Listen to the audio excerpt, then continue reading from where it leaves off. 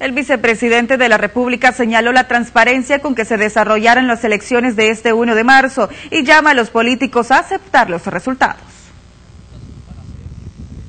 El vicepresidente de la República, Óscar Ortiz, se mostró satisfecho con el proceso electoral, donde miles de salvadoreños salieron a emitir el sufragio. Ortiz indicó que pese a las fallas en la divulgación de resultados, el Tribunal Supremo Electoral ha realizado un buen papel, teniendo en cuenta el poco tiempo de preparación y las resoluciones de la Sala de lo Constitucional ante el voto cruzado.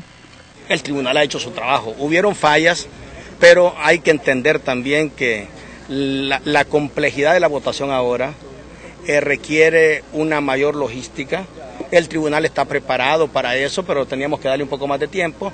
Así es que yo esperaría que con la experiencia que hoy hemos tenido en términos técnicos, en los próximos años ya no lo tengamos porque habrá el suficiente tiempo para saber cómo abordar esas situaciones que en los últimos siete meses al tribunal le tocó muy, pero muy, muy agitado, sobre todo por las resoluciones de los organismos. Además, resaltó la transparencia con que se ha realizado todo el proceso electoral.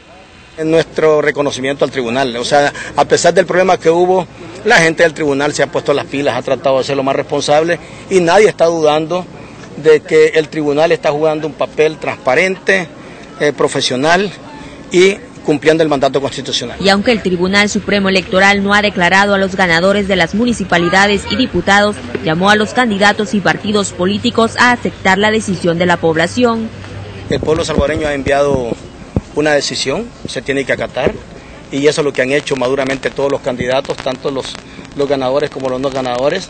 Lo que pasa es que ahora hay una, una situación novedosa y qué bueno para el país, que por primera vez en la historia vamos a poner en marcha los gobiernos municipales plurales. Nada más el mensaje que tengo para todos los que han sido electos, aunque todavía no están declarados de manera firme por el tribunal, es que nos pongamos a trabajar rápido. También reiteró el compromiso del gobierno en trabajar con las alcaldías.